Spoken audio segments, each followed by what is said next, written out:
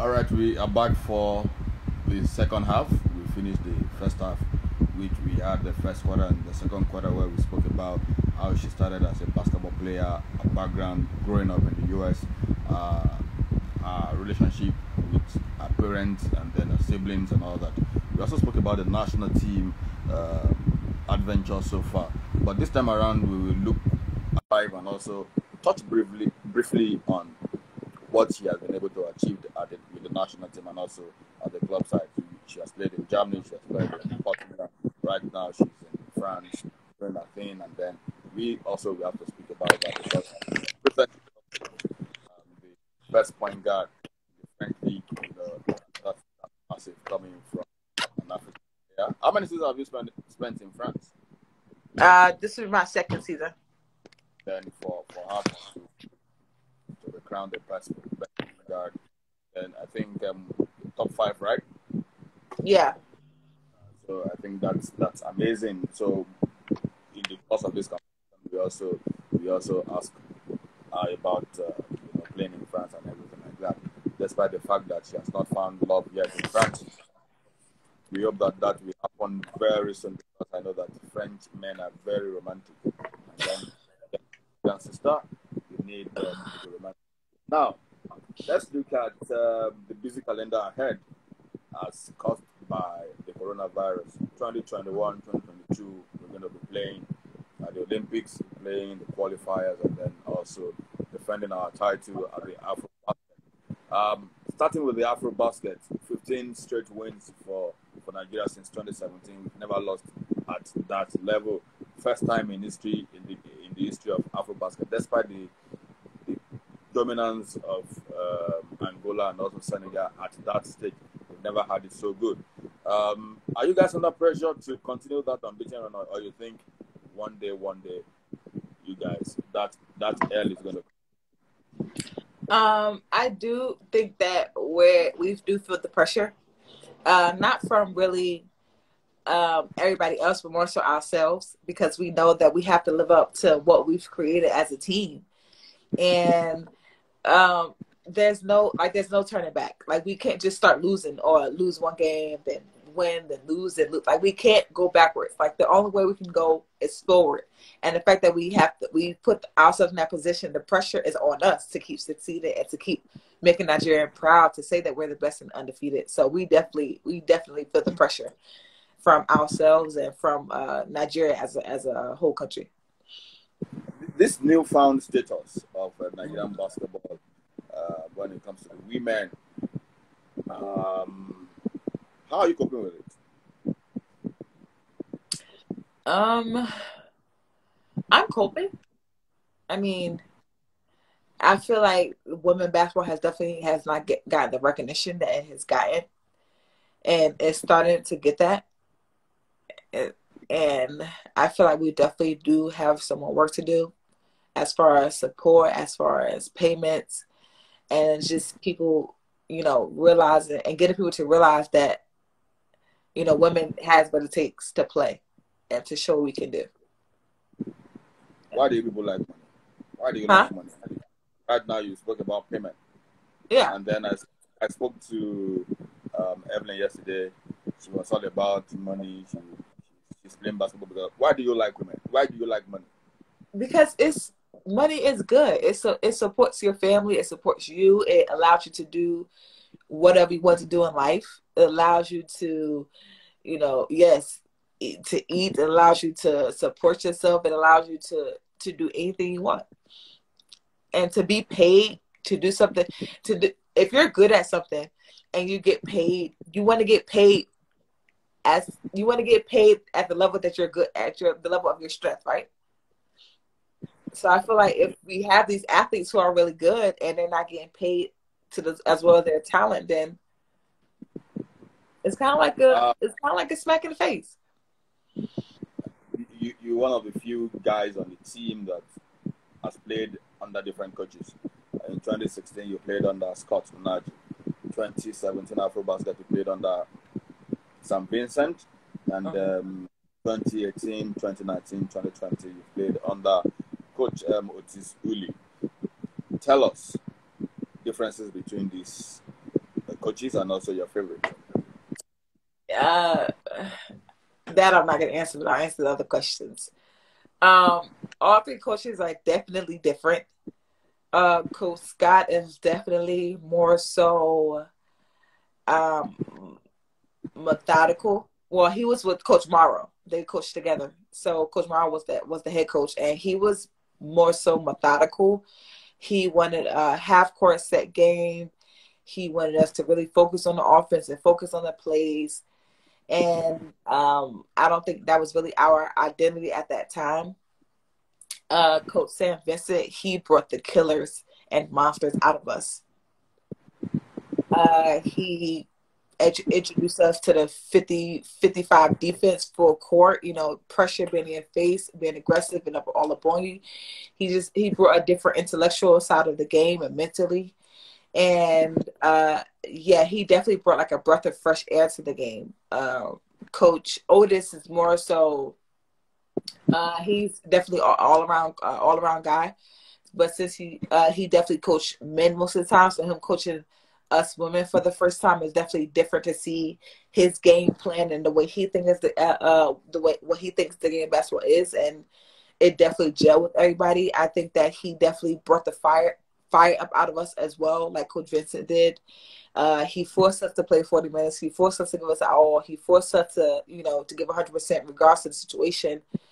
And he definitely loved his Bible scriptures. Yes. He, huh? How so, have you been coping with the Bible, the Bible side, the spiritual side? I, I I've been coping. I've been coping. I've I'm learning different scriptures every training, every practice. So yeah, all the coaches are definitely all the coaches are definitely different in their own way. So what's his favorite, uh, favorite Bible Bible verse? Um, probably my small fry coach growing up when I first started playing basketball. Hello. I said, I said favorite Bible quote. my favorite, my favorite Bible quote. Oh, I think you said my favorite Bible quote. Yeah, but um, my favorite Bible quote. Uh, my favorite Bible quote. I think it's by. Which verse says, "No weapon against me shall prosper"? Which verse is that? I don't know. Yeah, I don't. I don't know. Maybe Psalms, or maybe John, or maybe Corinthians. Hmm. God forgive me. Okay. Um, so, is it safe to say that um, the, the, the, best coach that you've ever worked with on the national team be Vincent? I don't have a favorite. I think each coach brought something different to the table, and I could take away literally one or two things from every coach. I could take away something from every coach, and as long as I can do that, you can be my favorite. As long as I can take something from you at the end of the season, or as long as I can learn something from you during the season and really, you know, get better as a player and as individual, then that's all that matters. So I don't really have a favorite currently number 16 in the world, number one in Africa. Um, of recent, we've been pushing for the top spot, trying mm-hmm. to tell the world that we are doing something right. This is the time for Nigeria. Mm-hmm. Um, at the Olympics right now, 2021, how far do you think the team can go? We're going to the podium. We're definitely going to the podium. Uh, that's definitely the plan. That's definitely the goal. Uh, what did you expect me to answer and say? Oh, we're gonna do okay. No, my our goal is to make it to the podium. I know that Nigeria wants us to make it to the podium, and I don't care if it's bronze, silver, or gold. I just want us to make it there. Um, I do think that we have. I do think it's possible. It's not going to be easy at all. It's definitely not going to be easy. There's so many teams standing in our way, standing in our way. Uh, but I do, I'm, I am confident in us. I think that we can definitely, you know, compete and we can definitely, you know, work hard and really, you know, be that team who could be on the podium. I definitely think it's possible. So, with the current material that we have uh, mm-hmm. available for us right now, presently in the national team, do you think that is possible, or you think there's a need for us to beef up um, that that some, in some areas? Uh, we definitely need to perform well, fix our performance in some areas. Uh, I definitely think that we need a little more preparation to be able to be step up on the podium. We definitely need to do a little recruiting to step up on the podium. We definitely need to make some like you know get into the place on time.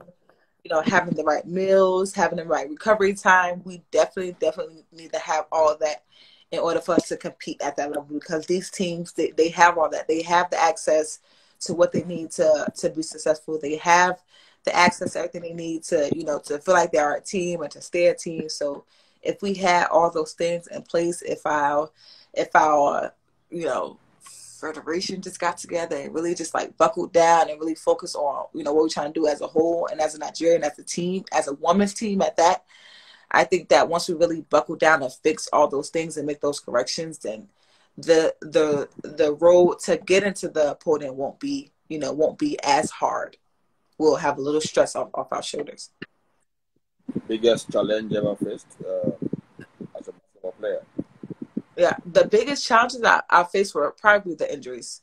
Um, I tore my ACL, I tore my rotator cuff, I broke both of my wrists, I broke both of my thumbs, I broke my ankle.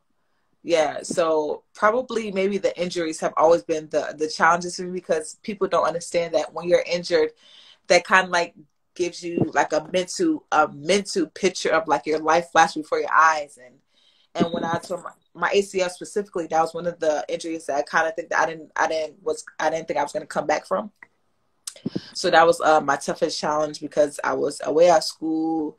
Um, I didn't really have, you know, my mom there to really take care of me and nurse me back to the good health. But thank God I had my teammates, I had some friends who were there around to really support me and really motivate me and push push me through the pain. And my trainer there, he pushed me as, as hard as he could to really get me back to 100%. And but yeah, that was one of my toughest challenges because I thought I was going to give up the game of basketball. I didn't think that I was going to come back as strong as I did or as fast as I did.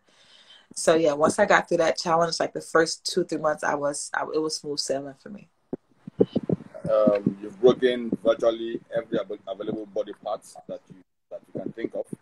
I'm sorry. I said you've broken all the yeah parts that we can think of. Have, have, have you gotten your heart broken before? Uh, I see what you did there. Um, I definitely have gotten my heart broken before. Um, a long, long time ago in high school. Uh, thank God it hasn't happened again, but I definitely got my heart broken before. And yeah, I mean, this is just it's a learning experience. At what age? I think I was like maybe 16, 17. Yeah, I was still in I was still in high school. Yeah, I was still in high school, and it was definitely a learning experience. I've definitely learned. I've definitely learned a better taste in guys and just people in general. And yeah, that happened years ago though. I'm about to be 28, so I don't really consider that really like a heartbreak now. It's just like okay, well, so, it was something that I went through. How did it happen? Huh? How did it happen? Oh, um, let's just say that one of us was a little more invested than the other one. So that's how that happened. And then you saw that it wasn't leading anywhere. You broke up with him, or he was one that broke up with you. Nah, he actually broke up with me. That's why I was heartbroken because I, you know, I, you know, because when you're when you're in high school, you're so in love. You think that oh, I don't see myself with anybody else. We're gonna be dating this guy forever and ever. We're gonna have kids, a family, just like just like loving basketball so so um yeah so when he broke up with me it was just like wow like oh my god i'm so devastated i don't want to go to school i want to cut my hair off and get tattoos so yeah it was just i was really distraught but like i said i was 16 17 and stuff like that i just like is you know chip off of of them like now so how did you handle it um, with grace and with poise, I showed up to school the next day looking extremely hot. And yeah. All right. Um, biggest fear for you as a pro? My biggest fear for me as a pro is always getting injured. I mean, you don't want to go into a game thinking, "Oh, I'm gonna be, I'm gonna get hurt," but uh, that do come across your mind sometimes, especially playing against certain athletes. Uh, when they play against an import play or or an American play, they think that they have to play extra hard and be extra aggressive to prove a point. So sometimes that you know that worries me getting hurt and not being able to play the game of basketball that I love so much. So yeah, definitely getting hurt was probably like my main, you know, as a name who are. Oh God, I hope you're not about to. I hope you're not about to uh, answer me, ask me that question. No, I'll probably, I'll probably rephrase it. Kelechi Anuna is asking if you were to choose between an American man and also a Nigerian man, you know, having a taste of both worlds. But for me, I will also add this one to being France, being in Germany, and also basketball. Um, out of all these countries, rate their men, how they take care of their, their, their, their, their women. Um. Okay, Portugal is definitely at the bottom because I don't. I was when I go overseas. I don't really be looking or checking for guys. Uh, France was. I mean, Portugal was definitely got the their guys at the bottom. Uh, I'll say after Portugal, with the low ranking, I'll give uh, maybe Germany the next ranking. Um, like I said, I don't really be looking for guys, but the guys I did come across, they wasn't like you know, a little creepy-ish. Uh, Budapest and France definitely are were a lot better because I feel like you have more tourists there. You can find more people you relate to. Um, and to answer your question, have to choose between American and a Nigerian guy, um, I don't know. I've never dated a Nigerian guy before, so I can't really like say who's better. I've definitely have, you know, had my fair share of dated the dating world as far as American guys, and you know, some of them are, you know, breath of the breath is a breath of fresh air, and then all the other guys are just like, okay, I need to run far away. And then you have some guys who kind of like, oh, okay, maybe he's, you know, he's kind of cool. He, it, it might work. And then two or three months later,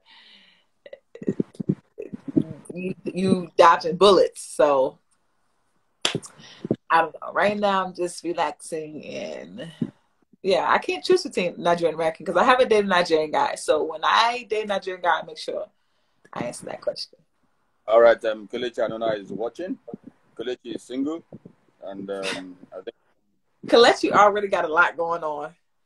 No, he doesn't. I, I spoke to I him. And, um, I, I, spoke to him. I think on Wednesday, on the Wednesday edition of um, Insta Live, and then he spoke at length about um, how he broke women's hearts, you know, and all that and all that. But presently, presently he's single, and then can shoot his shot, so that um, a tiger and a tigress can come together and give birth to a champion. Um, moving on, moving on. Um, most difficult opponent ever faced. Most difficult opponent faced was Mali. Only because playing in that atmosphere at Mali and the fans are like literally sitting right on top of you. And the girls back then were huge in 2017. I don't know why they, they didn't have the same girls, but them girls were huge. Going to the basket felt like getting hit by a train every single time. Um, they definitely made us feel every minute of the game. They didn't back down to us. They didn't. They just wanted it, and we wanted it more at the end of the day, but just to have that type of force being thrown at us, plus the crowd being on top of us, uh, yeah, definitely one of the uh, toughest games. Let's take our mind back to that game. Uh, that was the semi-finals of the Afro Basket in 2017. Mm-hmm. They were the host. The winner of that game will get to the finals and also have a title shot. The winner of the game will have uh, an automatic ticket to the um, what's it called now? The World Cup in Spain. And somebody is saying, I think um, Evelyn Akhator found that in that game. Um, how difficult was, was the game for you, facing all those pressures and trying to to meet up with that expectations, um, you know, back home? It was very difficult because I felt like when you're playing a game, you only want to go the only thing that you want to have in your mind is going in and play to win you know? You're not thinking about the pressures that everybody has on you. You're not thinking that i have to go out here and win. I have to go out here and succeed. There's no other option. There you don't get you don't get you don't get celebration for losing or so our only option was success. So the fact that we had that pressure from ourselves and from our country from our family and friends it was a little overwhelming at times but i felt like once we step on the court and we realized right now we're playing for each other. Overall, we're playing for our country, you know, our friends. We're playing for the people who have those expectations for us. But right now, in this moment, for 40 minutes, we are playing for each other. We have to have each other's backs. And I think that once we realized that, it kind of allowed the pressure of everything else to kind of lift the weight off our shoulders. And once that happened, we were able to carry the game. And that's what ultimately separates us from, you know, from other teams. Just being able to really solidify our chemistry on the court and play for what it is is happening at that moment. For a lot of girls and guys in Europe and America, mm-hmm. deciding to play for Nigeria in, in, in, the past has been a very difficult um, mm-hmm. decision for them to make. Some went ahead to play for other countries. Um, I think at the last World Cup, I saw Nigerian descent playing for Canada. They played for US woman mountain playing for Australia, also being a Nigerian, um, you know, the father being a Nigerian and all that and all that. Um, now let's look at it for you. As playing for Nigeria, Nigeria opened any door for you career wise? Yes, yes. Uh, playing playing for Nigeria has definitely opened a lot of doors. Um, do you mean on the court or off the court? On the court, it, allowed me to play in one of the top leagues in the country. That's France. Um, it allowed me to, you know, win the MVP award. It allowed me to to win the top five player award. It allowed me to be recognized on all these different platforms because I'm performing uh, well in these tournaments. And on, while I'm with the national team, um, outside of the court, it, it, allows me. It allowed me to build a fan base. So when I create like my small business like Kalu Cosmetics, I have those supporters and I have those fans who want to support me because they know how hard I work on the court. Now they want to support my brand off the court. So there's definitely open doors as far as like my brand, as far as like me wanting to help out the community and, you know, just do well overall. So wearing that green and white has definitely made people look at me differently and know that I can bring, you know, so many different things to the table. Do you see other Nigerians playing for other countries as an act of being non-patriotic, or it was just something that they needed to decide and then a decision to make? Um, I think both. I think that um, some players genu- genu- genuinely want to play for their country and represent their country and really show people what they can do.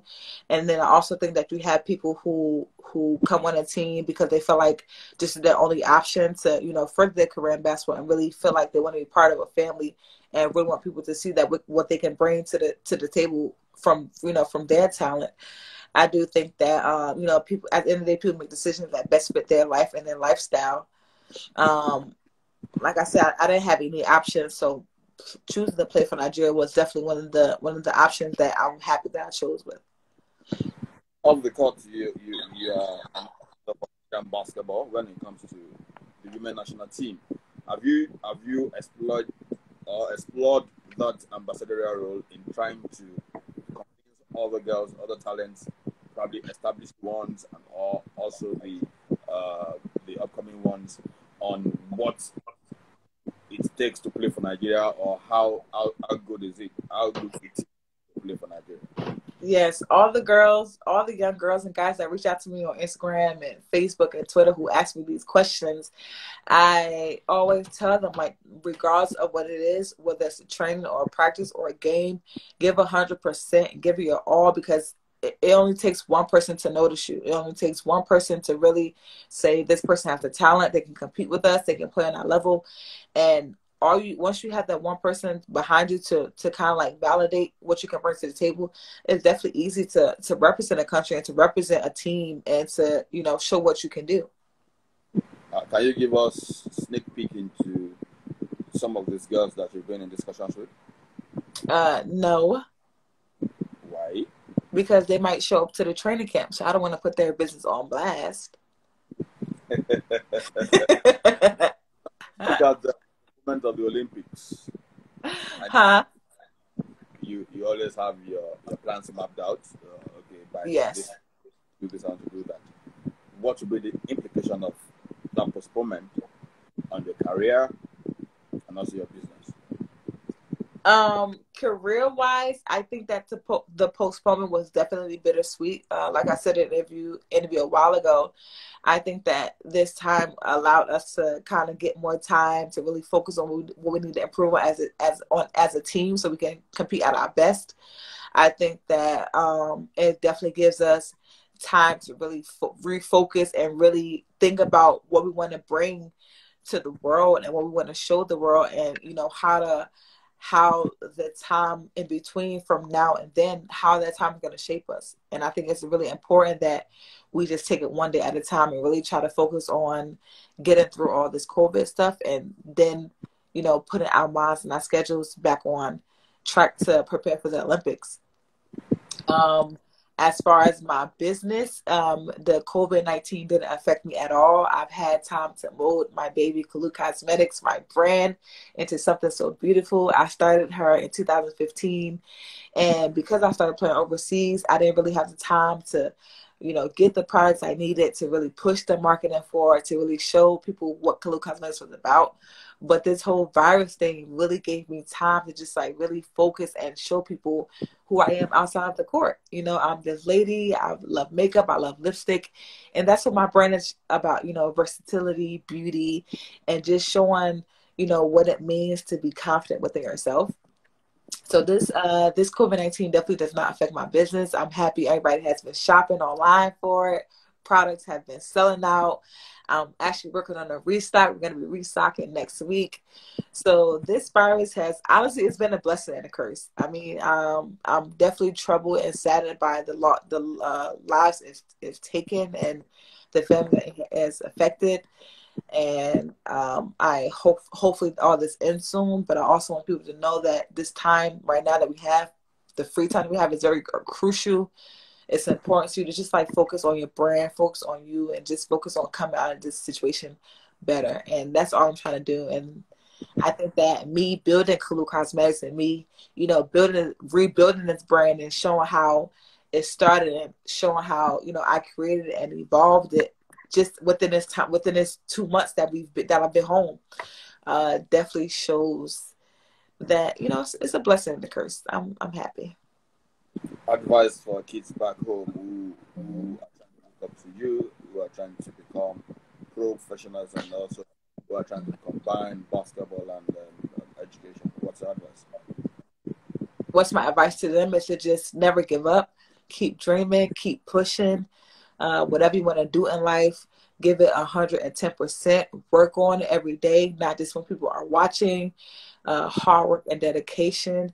But most importantly, don't forget to have fun. When you love something, when you when you have a job and you love to do it, it it it it rewards you with happiness, with financial stability, with mental stability, you know, spiritual growth. Just just keep pushing, you know, stay motivated, stay humbled, you know, always, always be a biggest fan, your biggest supporter, and just, you know, give it all you got. D Tigers and D Tigers. Yes. Who, who will you? Uh, what, uh, I know that you probably want to say that the D, D Tigers achieved more um, than the D Tigers. Yeah, did they? Mm-hmm. I'm talking about D Tigers more than the D Tigers. The Tigers guys, right? Yes. Yeah, I know. I said, hmm, did they? I don't know. Because um, for you guys, you, you won the, the gold 2017, 2019, got to the quarterfinals of uh, the World Cup, which they are still struggling to, to do, mm-hmm. uh, despite the availability of talent. You know, who do you think Nigerians appreciate more, the men or the women?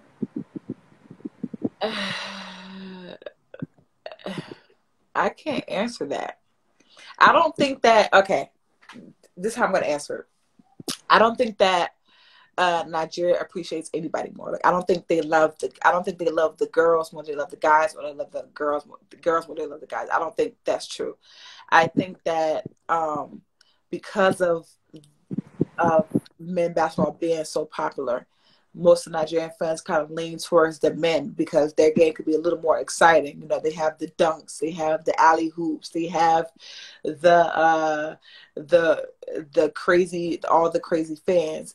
So I think that people kind of gravitate towards the, the Tigers men because they can give they can get the, the, extra excitement and what and what comes with the game. But I also I also think Nigerians love us women too because we they see how far we've come. They see that you know we can get down and dirty. They see that we can compete and play with anybody. So I don't think it's it go it's like who appreciate who who's more. I think it just goes by who is who is hot and ready and popular at that specific moment, and then Nigerian fans would just hop on and be there to support. What about uh, the level of acceptance right now? Um, the level of acceptance right now is definitely coming. I don't know. There's a lot. I don't. I don't know.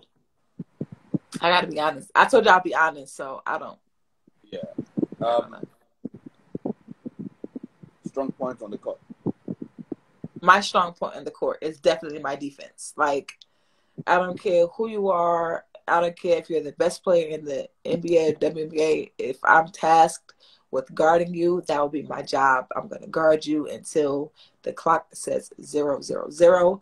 I will guard you all the way to your locker room. I will guard you all the way to your team bus. Like, that is my job. I love basketball. I love the game of basketball. Uh, like I'm, I don't know. I think I, I, it's it's because I grew up playing playing, you know, that defense. Like I told you, that that down and dirty defense and steal a ball, always want to get your hand in the ball. So that's definitely my strong point. Uh, I've always tried to.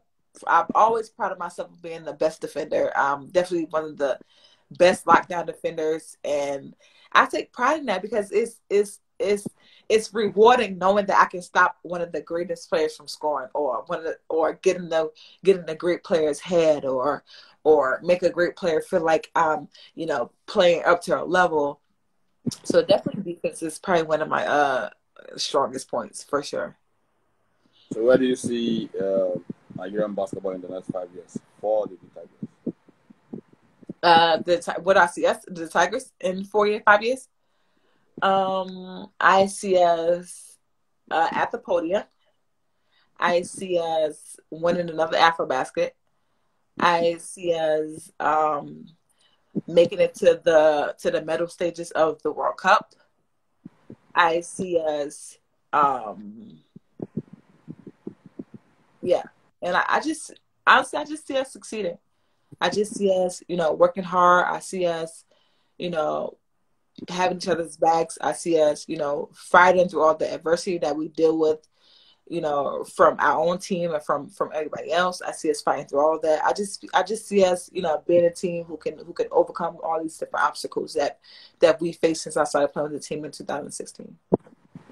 How financially rewarding is it for you playing basketball? Oh, it's uh it's very rewarding for me because I feel like I, you know, like I like nice things. I love to have fun. I love to hang out. I love to be able to travel where I want. So I feel like with basketball, I'm I, I'm able to do that with the pay that I receive. I'm able to buy whatever I want, do whatever I want, hang out, and you know, I'm able to to do what I want. And that's ultimately, you know, that's that's always my goal to not have to ask somebody for anything or ask ask my mom to take care of things or you know so it's it's very rewarding for me because i'm able to pay my bills i'm able to pay my mom bills sometimes i'm able to do whatever i want travel where i want so it's it's very rewarding for me and then this this level of uh, financial independence uh, mm-hmm. uh, your status is is probably way higher than a lot of guys that you might probably come across um, looking at the fact that uh, you also travel a lot you, you move around you change teams, you change countries, environment. Has this affected your personal life in terms of relationship in, in any way negative? Uh, for sure, for sure. Um, traveling and you know being away from home nine to ten months out of the year has definitely put a strain on any type of uh, romantic relationship I've tried to have.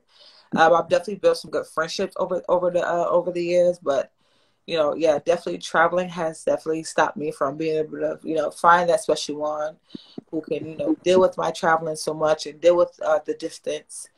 Uh, so yeah, it's definitely that's the only downfall of you know playing overseas. I've definitely I know for sure that there's people out there who are capable of having long distance relationships and who who've had successful relationships playing overseas, but I haven't had that that opportunity yet. So that's that that's the only downfall for me playing overseas is not being able to have that, you know, that that connection or that spouse or partner to be able to, you know, travel there with me and be with me and, you know, us have, you know, a strong connection of uh, while I'm playing. And I and it's unfortunate because I do want to play for like another five or six more years. So there's no telling if, you know, if uh, the Mr. Right comes by. How do you feel? How do I what? Fill the void? Uh, just by playing basketball. I mean, there's no. Uh, let me okay. Let me make this one clear. There's no void. Like there's no. I don't. I don't need a man, or I don't really. I don't feel like. Oh my god, I gotta have a man. I gotta have a boyfriend. I gotta have a husband. I, I don't feel that way at all. Like if I find one, cool. If I don't, cool. No problem with me. But um. No pressure just, from the. Yeah, it's no. It's huh no pressure from your parents to uh no not yet because i'm still young i'm 28 i still definitely have time so that i don't really feel no pressure from them yet. But i know once i hit 30 they're gonna be like okay what's going on? Especially your nigerian father. It's in the yeah. when are you getting married i want to see my yeah for sure for sure. So yeah i just feel the boy just by playing basketball staying busy you know working on things outside of basketball and yeah. Okay. Uh, I didn't notice this, but probably somebody somewhere noticed that, and uh, all this conspiracy theory. Um, the person is asking, do you think Nneka Ogwumike snubbed you during the um, All Star Five presentation at the OQT? Oh no, I just thought they uh they chose based on the, the statistics of that game, or maybe uh I'm not sure if it was that game or overall, but I, she did play well against us, so I think that's probably why she got the uh, award. So I wasn't, uh, no, I didn't feel that way at all. When people get get awards over me, I don't really feel snubbed or upset. I'm just like, okay, you know, good job, good work. Maybe next year. You know, I don't really get upset at things like that. All right, all right, all right. Um, what else? What else? About the bio clock. This guy. What? The, your bio clock, right? Um, 28. Why am I sweating? Uh, your inspiration. What inspires you to, to play basketball? Um, growing up and seeing seeing the women do it. Uh, one of my favorite players is Cappie Pondexter, and growing up watching her play, kind of what motiv- what motivated me to keep playing.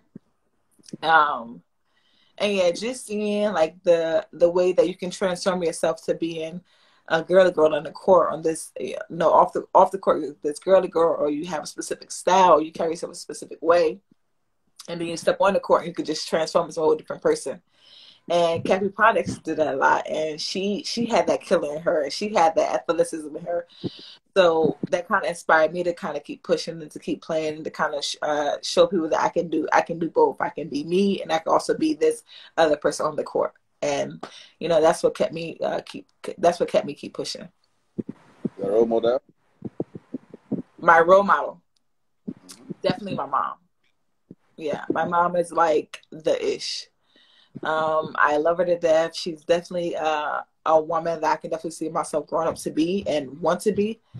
Um, she's definitely the true definition of a fighter, a survivor, and she's definitely have uh, molded me into becoming a woman who can who can withstand you know everything that I've, I've endured. You know all the struggles and the and the the challenges and the tribulations you know, if it wasn't for her, I don't think that I've had I would have had the strength to get through all that because she showed me what it is to get through those type of things. So I definitely commend her on that. Um, most most most most times we see the girl child being close to the father, while the man child is close to the mom. Um, why are you different? Um, I think because I grew up with my mom more. Um, me and my mom been through literally hell and hot water together. So I think that we've kind of had that be- that best friend relationship, and that best friend relationship kind of created itself because of the mom and relationship we had of being with each other all the time, and you know being around her twenty four seven growing up, and being a mommy's girl. So I, I don't know. I think I've I'm a mommy's girl because I've I've grown up with her. I'm pretty sure if I grew up with my mom and my dad in the same house, I probably would have been a daddy's girl because I'm super spoiled. But uh, yeah, I think because I grew up mostly with my mom uh, in the house, I've definitely became a mama's girl. Um, what drink are you having? Huh? asking. What drink are you having? Somebody's Oh, asking. I was drinking cranberry juice. What's that? Cranberry juice. What's that? What's cranberry juice? Yeah, that's what I'm asking. What's that? It's like it's cranberry juice. I I know you've had cranberry juice before, so stop it. That's why I'm looking like what? That's, that's cranberry juice. I love cranberry juice. It's good for your uh, kidneys. yeah. With what? Huh? It's good with what? It's good for your kidneys. Yeah. Uh, that's what I use it to mix my drinks. Yeah.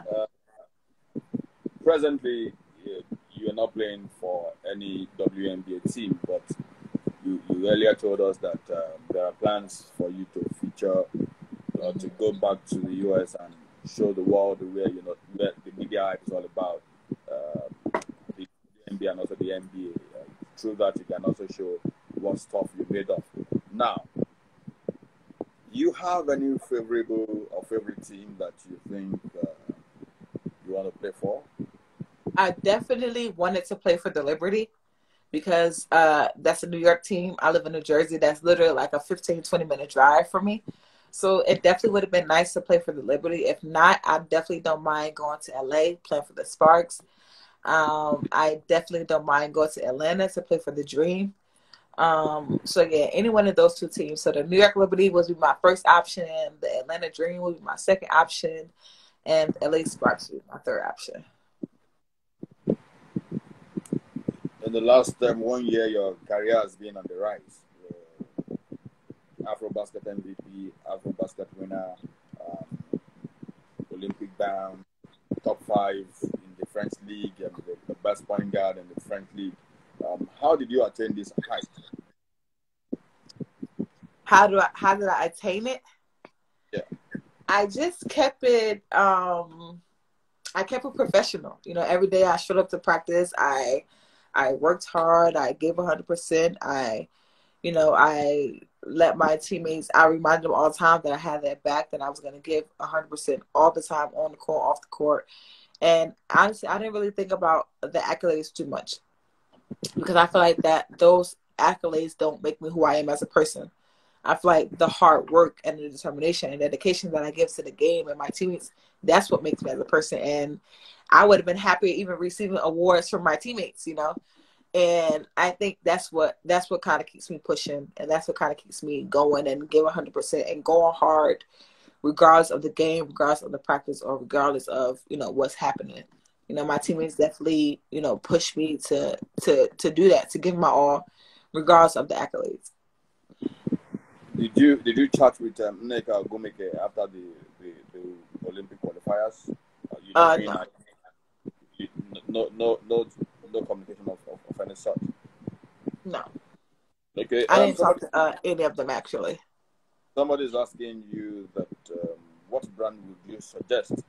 Uh, I told them Ocean Spray. okay. Um, so you drink alcohol, right? Uh, I mean, I dibble and dab in it a little bit.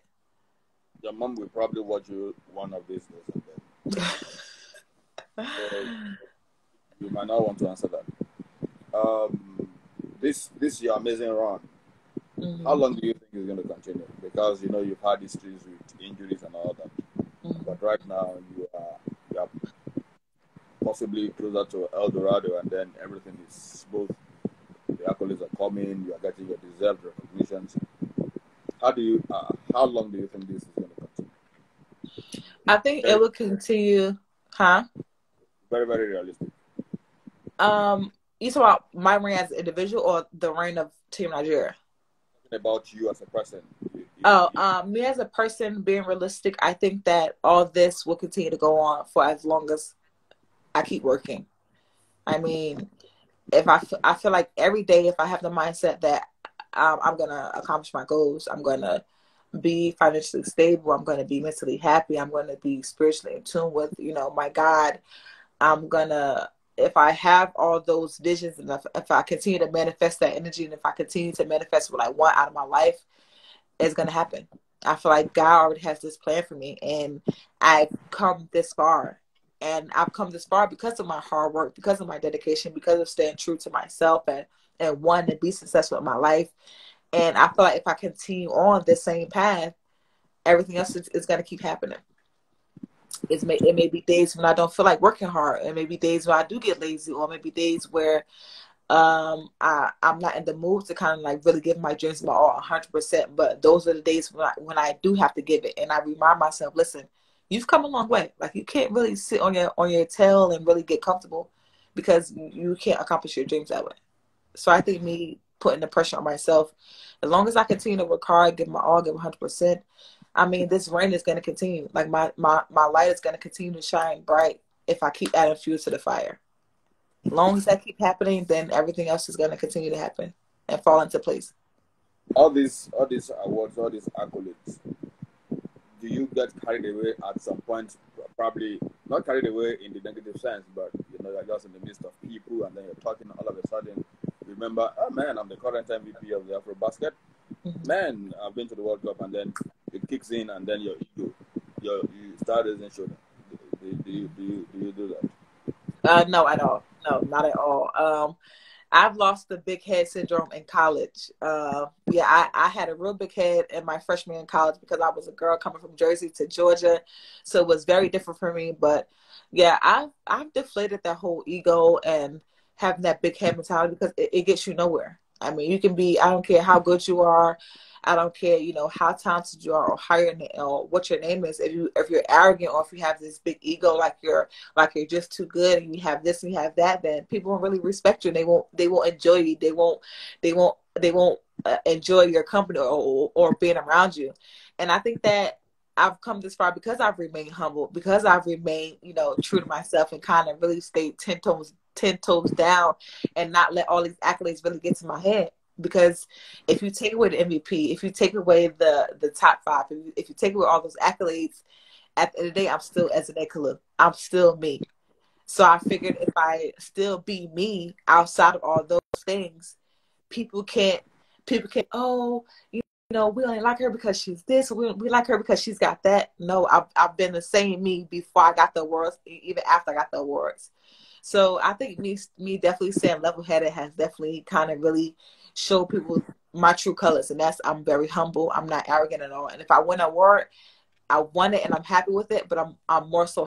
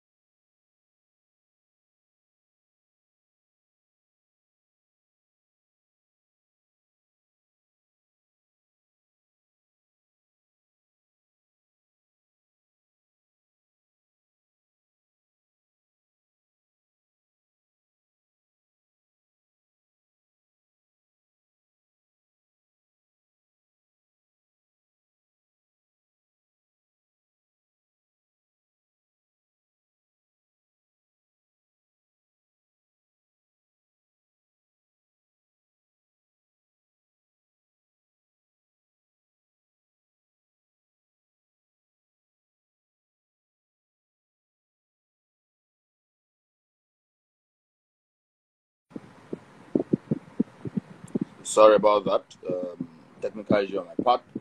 My internet went off, so I had to charge a bit and then, you know, reconnect. So, um, you need to get your Wi-Fi together over there. so, um, you were saying something, you know, never allowing those things to get to your head. Yeah, I'm just I just was saying to just I just remain humble. That's all. Okay. Um, your favorite Nigerian food? Do you have any favorite Nigerian food? Egusi soup and pounded yam. hmm When I go Oh, like this, and then it Well- just roll when it, when it roll when it rolls down there, you have to just scoop it per scoop it perfectly, and then you. Yep. Um, who is this um Barkley Bala? Barkley Bala zero zero. Is it your friend or something? No, I can't see any comments. Because probably your comment sessions are turned off. Yeah, I can't. Everything is like frozen on the side. Like guys, it's, it's it's been attacking me and then rooting for you. I don't know why. Let's talk about your beauty line. Um, Yes. Kalu Cosmetics. Here it is right here. Wait, should I turn it? That's better? It's not. Oh, wait. Which way do I have to? What about now? It's not. Uh, okay, maybe that doesn't work like that. But yeah, so like I said, I started my brand in 2015, Kalu Cosmetics, and I originally started it because I wanted to find an, an, just an extra income. But you know, once I got the hang of it and started learning about the cosmetics business, about the makeup business, um, I fell in love with it. I'm just like, wow, like I love lipstick, I love lip gloss. This is something I can really connect to my fans, to my sisters, to people around me. So I came up with the brand, and um, and Kalu Cosmetics was the first thing I thought of because it's it's people people will know it's me. And then I spelled the cosmetics with a K, so that's really cool. Um, yeah, so I started this brand, and uh, about two years in, once I really buckled down and got serious and started to learn the ins and outs of the makeup business and just be an entrepreneur, I fell in love with it. Uh, like I said, I got I got home in March. I started to really buckle down and really, you know, put things into play about uh, photo shoots, websites, really trying to make my brand better and really make it so that it, it could compete with these other national uh, makeup companies. So once I did that, I was able to relaunch uh, my company. I actually just relaunched on Sunday, and Sunday at, at 12 a.m. at 12:10, 12:05, some of the like four items were sold out. So I'm definitely happy to see how far I've you know how far I've molded my brand into something into something special. Um, like I said, it's about just promoting uh, diversity, versatility, beauty, and just you know uh, just show the world a different definition of, of what beauty looks like. It, beauty doesn't look this way or that way, or beauty doesn't have this color or that color. It's beauty is is how you feel and and and and what you bring to the table and what what you show what you show to the world. And uh creating Kalu Cosmetics i wanted to just you know i wanted everything to be an extension of that. And yeah it's food proof kiss proof it doesn't come off at all. You guys see that i've been drinking.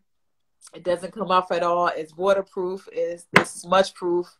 Uh, yeah i just pride myself on just having the best products and giving giving uh, my people the best things so yeah, I'm very happy about how far I've come. Uh, my plan with Kalu Cosmetics is to open up a small little boutique one day, or to have my brand in department stores like Walmart or Sephora or CVS. So yeah, I'm excited. I've definitely came a long way. I'm working on a restock within the next two weeks, and I just hope that you know Kalu Cosmetics go go main mainstream. That's my goal. You know, I have worldwide shipping, so people can ship from. They can order in Nigeria. They can order anywhere in the world in France. And yeah, I'm just I'm really excited. And everywhere I go, I always wear Kalu Cosmetics.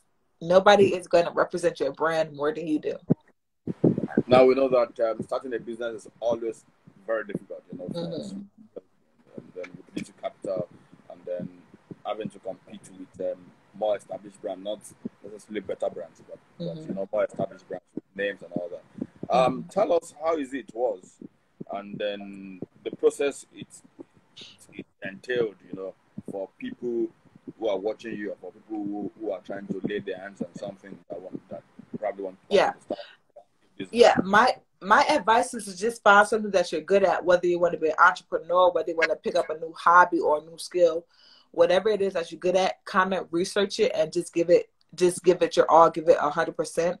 When I first started my research, uh, my research, it took me two years to kind of really sit down and come up come up with a plan and a name for what I wanted to do. So definitely I definitely said you want to be an entrepreneur, definitely do your research, take your time out to figure out what type of field you want to go in think about your market think about your audience think about how you want to go think about your four year five year plan of how you want your company to have its longevity.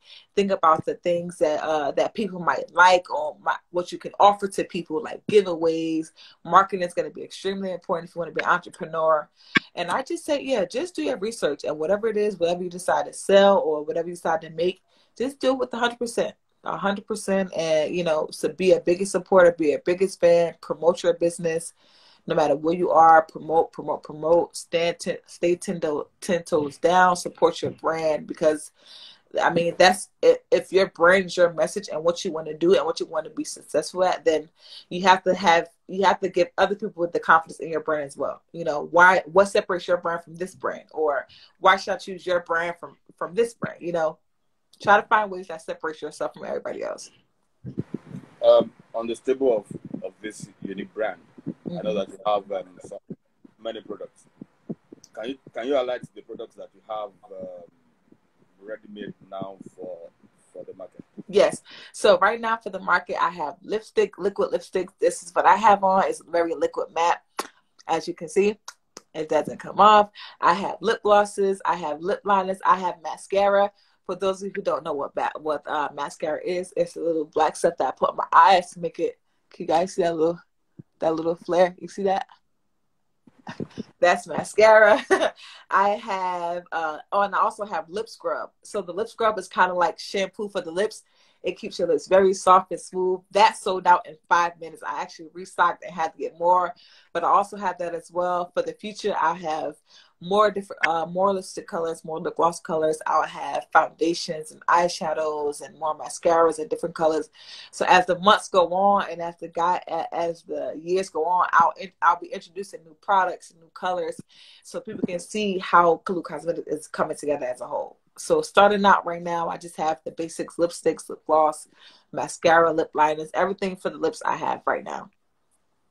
For the guys, I don't have anything right now, but I'm working on. I'm working on the special. I'm working on a special. I'm working on a special chapstick for the guys. I thought you said you were not in the comments. Huh? I thought you said you were not in the comments. Oh, I see them now. You see them now. So yeah. who, who who is? Uh... I see Kalechi. He said, "What you got for the guys?" Who is Bella or Barkley Bala? Zero zero. No, I can't see that. I can only see starting from Matt the Wash. Okay. So, um, guys. Oh, I have I have a lip scrub for the guys. The lip scrub is unisex. You can use it, but it's sold out. So I'm definitely working on restocking. As in guys who use lip lip lip, lip scrub. Yeah, it's like a lip scrub. Like you know, to, when your lips are always dry, you put on a scrub. You rub the scrub on your lips for about five to ten minutes. You wash it off, and then you you're fine like as as a man. Yeah. Oh. It's called. Oh. It's like it's like a shampoo, but for the lips. It's really really good. Oh, that's that's amazing. Um, I know that out of this, some of these products, you you have um, some that are problematic that are not moving as fast as others. Are you thinking of probably reshaping in future and then um, dropping some and and focusing more on those ones that instant eats with your, your, your customers. Yeah, can you say that again, please? Sorry, you was going in and out. You, if you have different products in the shelf. Oh yes. Faster than the others. Um, are you thinking of probably looking at focusing more on the ones that resonate more with um, the consumers rather than just being general? Yeah. So so as far as the, uh, the products, the products that sold out fast, I immediately asked for a restock for those. So that was that that was really my plan to to restock on the colors and the products that sell out fast. I'm definitely gonna restock. What, what, what, product? Huh? Oh, so I sold out out of, out of two lipsticks. I sold out out of all my lip glosses, which were three of them. I sold out of all three lipsticks, all all three lip glosses. I sold out of all my lip scrubs. And my plan is to restock on all the products that I that I sold out of. So right now, all the products that I that I sold out of are in production as we speak. The colors that I have left over, I still have those. I'm gonna wait for those to sell out before I even order more because I still have like maybe five or four left. So still a lot of